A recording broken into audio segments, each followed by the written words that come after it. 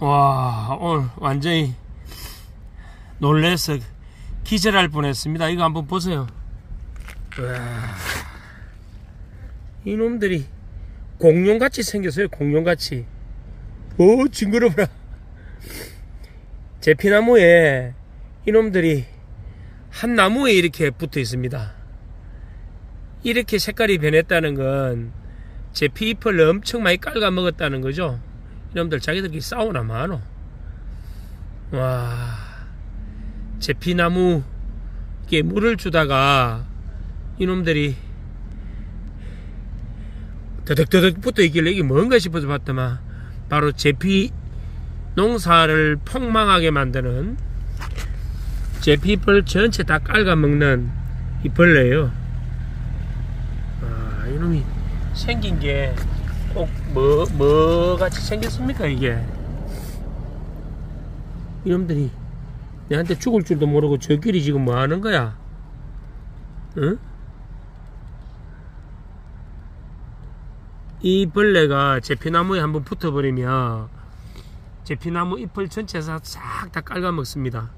근데 이게 특이한 게 제가 화분에 주변에 이렇게 많이 화분을 놔놓고 그 중간에 큰 제피나무를 하나 심었는데 큰 제피나무에만 이게 다 붙어 있어요.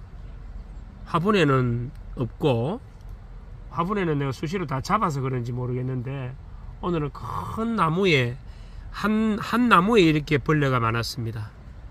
와, 이놈들이 저끼리 지금 뭐 붙어가지고 뭐 하는 거야? 싸우나요? 화가 나는 것 같은데? 자기들끼리 지금, 야, 이게 생긴 거안 보세요. 어, 눈이 있어요, 눈이.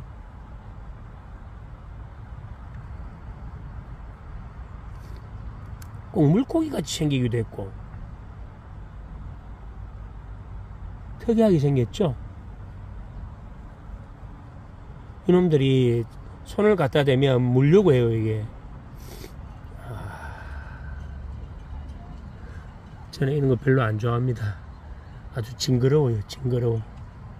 어이구, 자기들끼리 지금 뭐 싸우는지 뭐 하는지 이제 각계 이제 약진합니다. 서로 살아볼 거라고.